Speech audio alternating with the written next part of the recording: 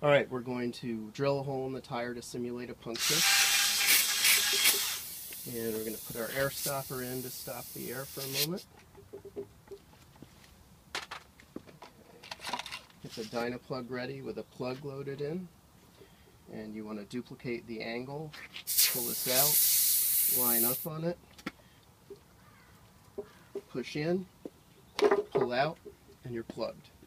And all you have to do slice off the part hanging out of the tire. And you're all set.